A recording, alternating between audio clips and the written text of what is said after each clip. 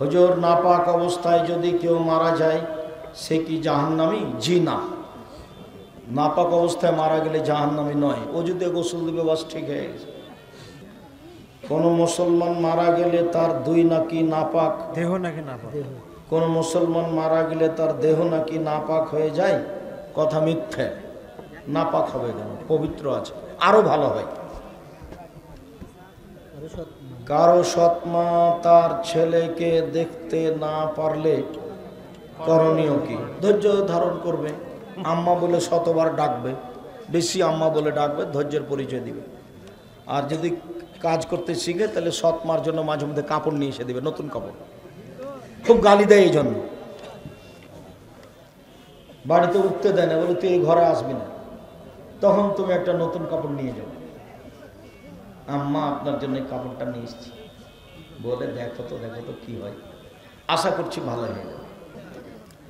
জুমার সালাত কয় আজান? এক আজান। দুই আজান বিদাত। আমাদের এলাকাতে সব জায়গাতেই হচ্ছে যে, তো হচ্ছে তো কি করব? আমি দিনে। আমি জুমার দিন দুই আজান দিনে। দুই আজানের মসজিদ আমরা দেখতে আসতাম চাপাই নবাবগঞ্জে সাত করে। আর দূর থেকে তাকে বলতাম, এই যে, এই সব আজান মসজিদে দুইবার আজান হয়। এভাবে বলতাম। হুজুর, দয়া করে বলবেন, কখনো কোনোদিন যদি অবিবাহ থাকা অবস্থায় জেনা হয়ে থাকে, এই পাপ থেকে মুক্তি পেতে কান্নাকাটি করো, ক্ষমা চাও, ক্ষমা হবে ইনশাল্লাহ শেখ আমি জীবনে আমার বাবা মাকে অনেক কষ্ট দিয়েছি। আর এই কষ্টের পাপ থেকে মুক্তির জন্য কি করতে পারি? বাপ বেঁচে তাহলে ক্ষমা না আগে ক্ষমা নিবে রাতে গিয়ে। পা ধরে ক্ষমা চাইবা আল আব্বা ভুলে হয়ে গেছে, মাফ করেন। আমি আপনাকে সবচেয়ে সম্মান দেওয়ার চেষ্টা করব।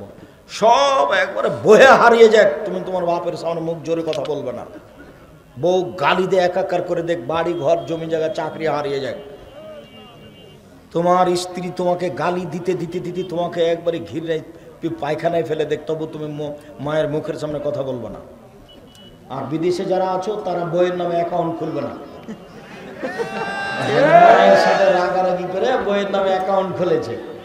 তো ছয় বছর বাইরে ছিল, সব টাকা বইয়ের কাছে দিয়ে পাঠিয়েছে। ও আগের দিন যেদিন আসবে দেশে, আগের দিন টাকাটি নিয়ে পালিয়ে গেছে আরেকজনের সাথে তোমার মাকে দিলে তোমার মা কিছু টাকা তোমার বোনকে দিত, এইটাই তোমার কারণ ছিল, তাই তুমি দেওনি। আচ্ছা দিয়েছে দিয়েছে, তোমার মা দিত, খুশি থাকতো, তোমার সম্পদ বেশি হতো, শান্তিতে থাকতে। বইয়ের নামে জীবনে কোনো দিন অ্যাকাউন্ট খুলিও না। খুলে থাকলে সাত দিনের মধ্যে অ্যাকাউন্ট কেটে নতুনভাবে করো। ইসলাম বহির্ভূত কাজে লিপ্ত, এরকম ইমামের পিছনে নামাজ হবে, আপনাদের হবে, তার হবে না। জেনে শুনে অবৈধ টাকায় মসজিদ, উন্নয়ন অথবা ইমামতির বেতন দেওয়া কতটুকু উচিত? ঠিক নয়, জায়জ নয়। এমাম যদি হানাফি মাঝাবের হয়, তাহলে নামাজের সময় এমাম যেভাবে নামাজ পড়ে, আপনি সেভাবে পড়বেন না। রুকু, সিজদা ঠিক মতন করবেন, হাত উঠাবেন, আমিন জোরে বলবেন। বিয়ের পর যদি ছেলে দায়ুস হয়ে যায়, তাহলে পিতার ওপর কি সেই পাপের ভার আসবে, বিবাহ দিয়ে দিয়েছে বাপের জিম্মেদারি শেষ। স্বামী যদি জেলায় লিপ্ত হয়, তাকে সঠিক পথে আনার উপায় কি? বারবার অনুনয় বিনয় করে বলতে থাকেন, হাত পা ধরে বলতে থাকেন আর বলবেন যে, জাহান্নাম অনিবার্য এভাবে থাকলে আর রাতে উঠে কান্নাকাটি করবেন, আল্লাহ তুমি আমার স্বামীকে ফিরিয়ে দাও। এখনকার মহিলারা ভাসুর দেবরের সামনে পর্দা করতে চায় না। ভাসুর দেবরের সামনে পর্দা করতে হবে, জরুরি। দেবরও দেবর ভাসুরও দেবর। ওটা আমাদের দেশের ভাষায় বড়টা ভাসুর আর ছোটটা দেবর। আরবি ভাষাতে বড় দেবর, ছোট দেবর, সবাই দেবর। স্বামীর ভাইয়েরা সব দেবর। ভাসুরকে বলে বড় ভাই, দেবরকে বলে ছোট ভাই, তা বলুক। তাদের সামনে কান, গলা বা চুলের এক তৃতীয় অংশ বা পুরো চুল খোলা রাখে, জিনা হারাম, কাবিরা গুনা তারা পাঁচ অক্ত নামাজ পড়ে, রমাজান মাসের রোজা থাকে, এগুলো সব বন্ধ করতে হবে। এটা হলো ইমান কম এই জন্য ইমান কম।